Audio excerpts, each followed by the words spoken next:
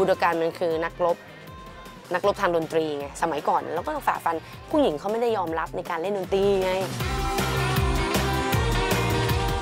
คือเราถูกครูบาอาจารย์สอนมาว่าคำว่าศิลปินเนี่ยใช้ไม่ได้นะ ถ้าถ้าไม่ทำอะไรเพื่อสังคม ใช้คำว่าศิลปินไม่ได้ คือถ้าคุณอยากจะใช้คำว่าศิลปินคุณต้องทำอะไรเพื่อคนอื่น เพื่อสังคมน้อยนิดหรืออะไรก็ได้ เท่าที่เราทำได้ การทำอะไรดีๆอะกุศลมันจะส่งส่งให้เราได้ดีให้เราเจริญอะไรเงี้ยมันอาจจะใช้เวลาช้าหน่อย แต่มันเห็นแน่นอน และต้องทำด้วยจิตใจที่อยากทำ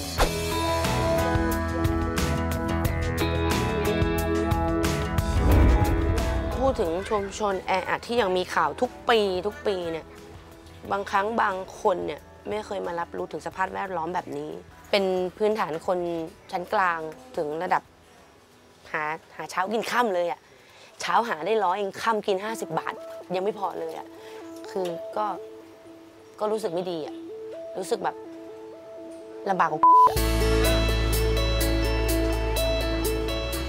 ชุมชนแออัดยังคงเป็นพื้นที่ที่ต้องได้รับการพัฒนาอย่างเร่งด่วน เพราะปัญหาทั้งด้านชีวิตความเป็นอยู่ ด้านสาธารณสุข นอกจากนี้พื้นที่ชุมชนแออัดที่มีบ้านเรือนอาศัยกันอยู่มาก ยังเป็นต้นเหตุของเหตุการณ์ไม่คาดฝัน อย่างเหตุการณ์อัคคีภัยที่มีข่าวอยู่เป็นระยะระยะครับ ไฟฟ้ายังไม่ตัดนะครับ ไฟฟ้ายังไม่ตัดวันที่นะ8มีนานะคะพอดีครูก็เอ่อนั่งทำข้อสอบวันวันนั้นได้กลับบ้านเร็วด้วย ก็เลยเอาข้อสอบมานั่งตรวจ ก็สบายสบายๆนั่งกันแบบชิลๆลมเย็นๆ ก็ไม่คิดว่าจะเกิดเหตุการณ์ไฟไหม้ขึ้น คือหลานออกไปเล่นข้างนอก และตะโกนบอกว่าไฟไหม้คือเราอยู่มาตั้ง ชั่วอายุแบบ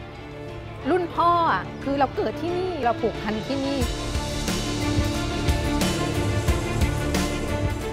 จากเหตุการณ์อัคคีภัยครั้งใหญ่ครั้งนี้นะครับ สร้างความเดือดร้อนให้กับชาวบ้านกว่า 17 หลังคาเรือน 60 กว่าชีวิตที่ต้องเริ่มต้นชีวิตใหม่จากศูนย์ ครั้งนี้พวกเราคนมันพานาสาเชื้อเชิญอาสาสมัครนำโดยพี่อินบูโดกัน เข้าพื้นที่จัดกิจกรรมดีๆ มอบข้าวของเครื่องใช้ที่จำเป็น ไม่ว่าจะเป็นข้าวสาร อาหารแห้ง ผักที่จำเป็นต่อร่างกาย สร้างกำลังใจดีๆ ให้กับชาวบ้านในชุมชนครับ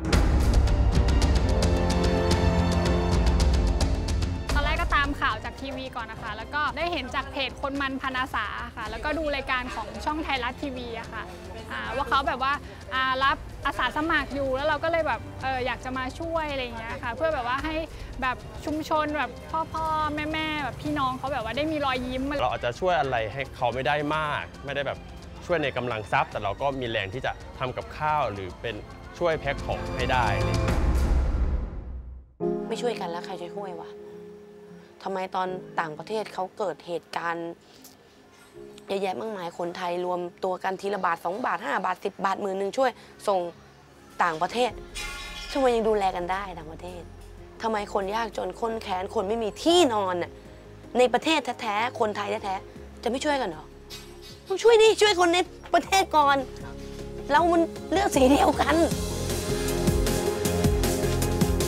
ติดตามภารกิจของจิตอาสาที่เดินทางมารวมตัวกันเพื่อจัดกิจกรรมดีๆ มอบกำลังใจให้กับชาวบ้านในชุมชนที่ประสบอัคคีภัยครั้งใหญ่ครั้งนี้นำโดยพี่อินบูโดกัน และอาสาสมัครจากทางรายการในคนมันพนาสาวันนี้ครับ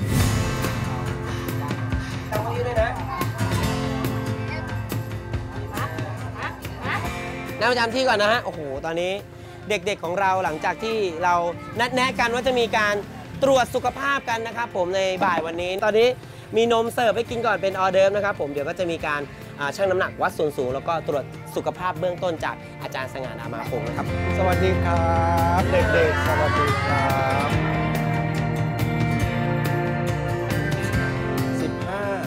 15น้องโอมไหนลืมตาลูกลืมตาลืมตา เออเปลือกตาแดงแจ๋เล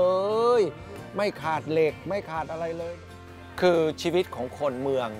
โดยเฉพาะในชุมชนแออัด หรือผู้มีรายได้น้อยเนี่ยปกติชีวิตของเขาก็ขาดแคลนอยู่แล้วการที่จะทำให้เขากินอาหารครบห้าหมู่ และกินถูกหลักโภชนาการมันก็ยากอยู่แล้ว พอยิ่งมาประสบภัยพิบัติคือไฟไหม้อาหารการกินจะไม่ปกติละ ในที่สุดก็จะกินอาหารที่มันพร้อม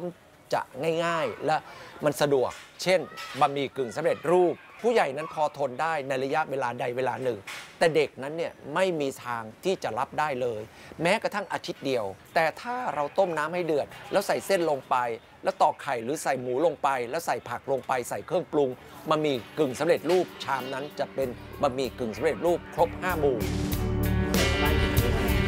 ต้นสามลูก เราไปซื้อของมาแจก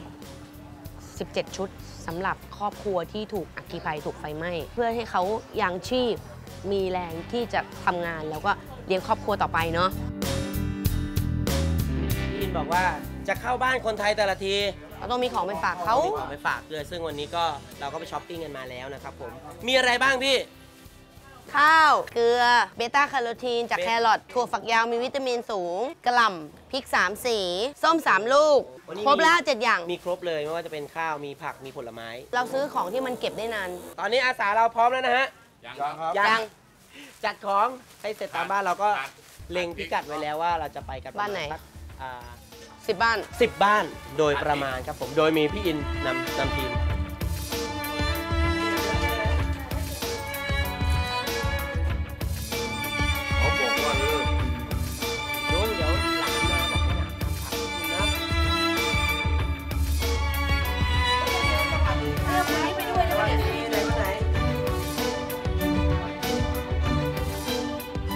อนเห็นไฟไหม้เป็นไงบ้างเห็นบ่อยแล้วมันพุ่งพุ่งพุ่งอืม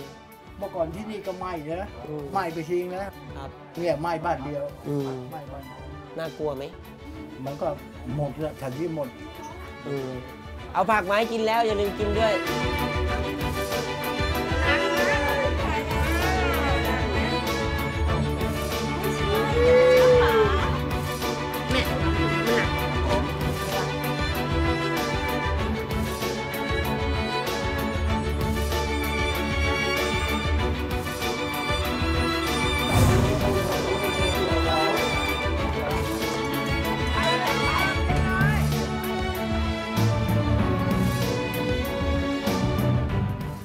ขอบคุณทุกท่านนะครับ ที่คลิกเข้ามาชมทาง YouTube ทีวีบุรพา Official นะครับ ก็ยังไงก็อย่าลืมติดตามกันนะครับ กด subscribe นะครับ และกดกระดิ่งครับ จะได้ไม่พลาดรายการดีๆ จากทางทีวีบุรพาครับ